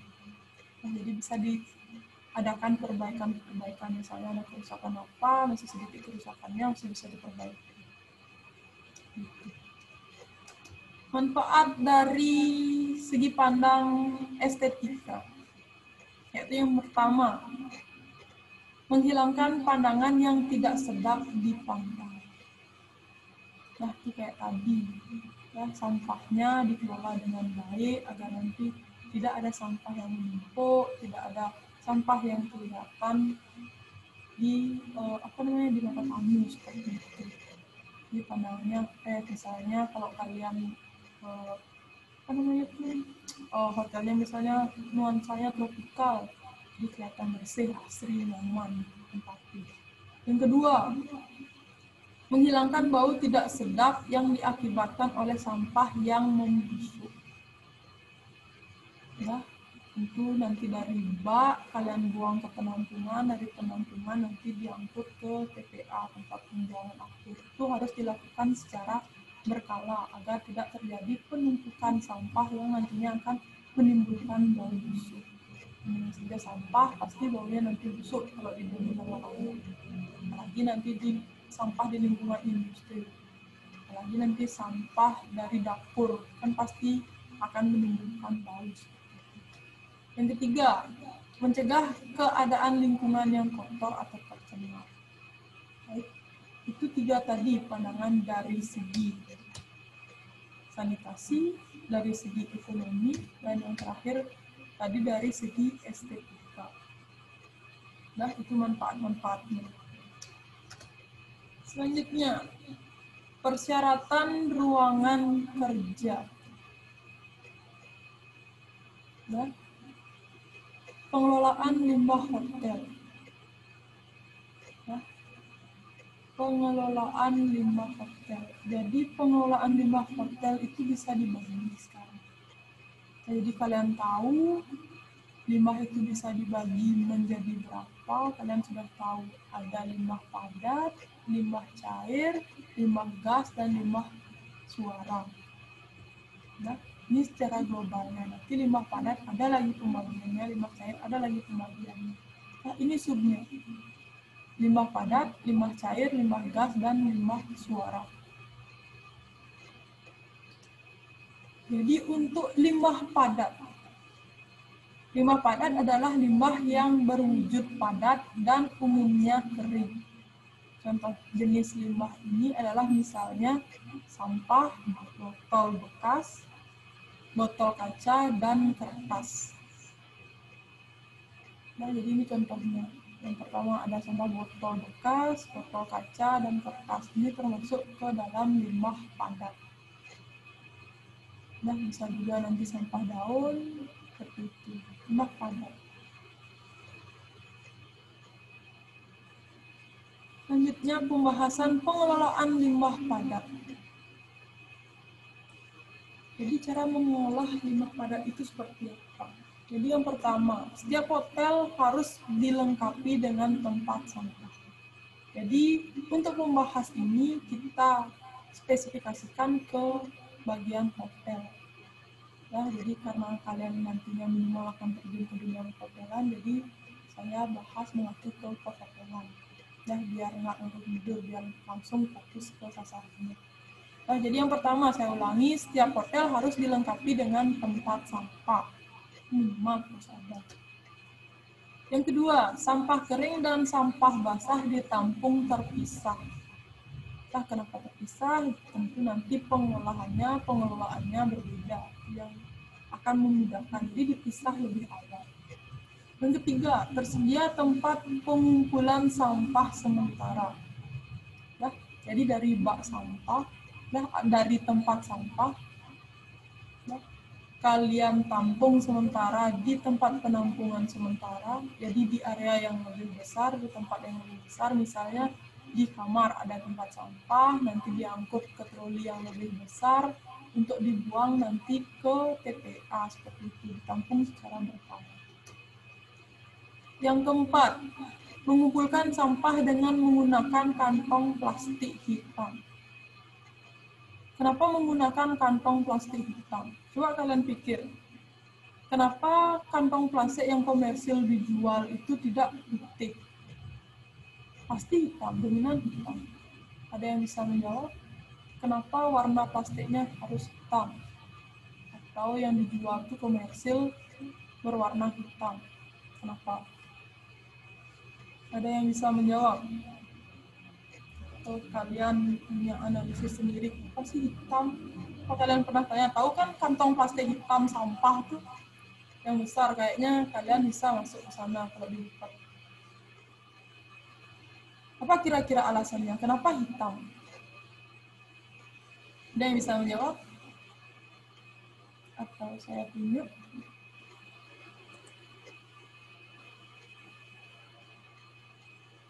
Silakan Niketut Widiani, blok 7. Uh, menurut saya agar debu, uh, kotoran atau sampah yang ada di dalamnya tidak kelihatan. Ada lagi yang lain yang punya jawaban lain? Silahkan coba 10 AP, AP5, Rizka.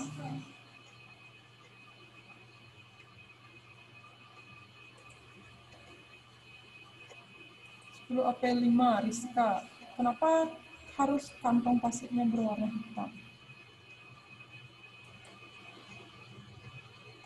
Bisa, ada yang lain yang bisa menjawab? Unika. 10P9. Silakan.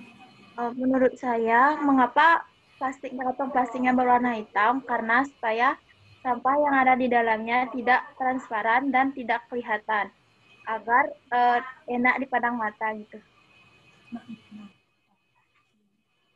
Terima kasih untuk dua orang yang sudah menjawab. Jadi jawaban temannya hampir sama dan keduanya benar. Jadi kenapa hitam? Jadi itu menghalangi pandangan. Jadi bentuk sampah yang kalian sudah angkut tadi itu tidak apa namanya eh, tidak mengganggu pandangan seperti itu. Misalnya sampah yang kalian angkut itu pasti kotor, Nah, jadi nanti tidak kelihatan entah itu dari bentuk warna, entah bentukannya seperti apa. Kalau sudah menggunakan plastik hitam itu tidak kelihatan dari luar. Ya, dia tidak mengganggu pandangan. Itu alasannya kenapa berwarna hitam. Kalau putih kan pasti kelihatan jorok. Nah, kalau transparan pasti kelihatan jorok. Kalau hitam itu udah dominan tidak kelihatan dilihat sampahnya. Bentuk sampahnya seperti apa. Itu alasannya kita lanjutkan. Yang kelima, mengamankan limbah pada sisa kegiatan pekerjaan. Mengamankan. Di limbahnya diamankan. Agar tidak terjadi pencemaran lingkungan atau nanti bahaya-bahaya lain yang dapat ditimbulkan oleh limbah tersebut. Itu yang dimaksud dengan mengamankan. Selanjutnya, ada konsep 3R. Reduce, reduce, dan recycle. Ya, yang pertama, reduce atau pembatasan. Mengupayakan agar limbah yang dihasilkan sesedikit mungkin. Nah, dibatasi jumlah sampahnya. Ketika eh, sekarang kita gencar uh, membatasi penggunaan limbah plastik. Jadi kantong-kantong plastik, uh, misalnya kalian belanja di swalayan, itu sudah diminimalisir penggunaan kantong plastiknya. Kalaupun masih menggunakan kantong plastik, itu mungkin yang cepat terurai, yang cepat bisa terurai oleh uh, mikroba seperti itu. Jadi kalian disarankan untuk menggunakan kantong yang bisa digunakan berulang-ulang. Selanjutnya, reuse atau penggunaan ulang. Jika limbah akhirnya berbentuk, upayakan memanfaatkan limbah tersebut secara langsung. Nah, yang ketiga, recycle atau daur ulang. Jus yang tidak dapat dimanfaatkan secara langsung kemudian diolah untuk dapat dimanfaatkan baik sebagai bahan baku maupun sumber energi. Nah, misalnya kalian merecycle uh, plastik, kantong plastik di diolah lagi untuk menjadi produk-produk yang bisa kalian gunakan kembali seperti itu. Jadi bentuk dan fungsinya itu di apa namanya diubah seperti itu. Itu yang dimaksudkan dengan daur ulang. Dan udah banyak produk-produk daur ulang sekarang, terutama daur ulang plastik. Jadi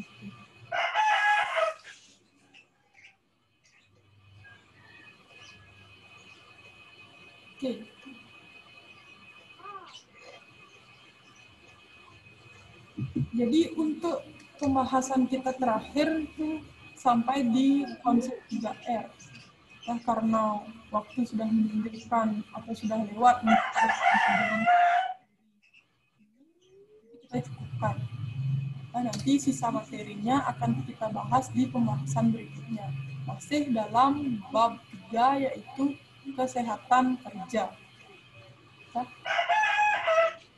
Jadi tolong ibu minta dengan tugas sama kalian tetap ikuti pembelajaran dengan baik ya jaga kesehatan mungkin apa pun materinya apa pun pembelajarannya kalian tetap ikuti bisa diterima. Untuk mengakhiri pembelajaran, ada yang mau bertanya? Silakan kalau ada yang mau bertanya dari pembahasan yang sudah kita bahas tadi, ada yang kurang jelas, silakan disampaikan. Apa kira-kira? Jadi untuk minggu depan kita lanjutkan di pengelolaan limbah cair menggunakan Ibu Ratni yang akan menjalankan materi. Sudah? Oke, kalau tidak ada yang bertanya, untuk pembelajaran hari ini kita cukupkan, kita akhiri dengan Parama Santi. Om Santi, Santi, Santi. Santi, Santi, Om.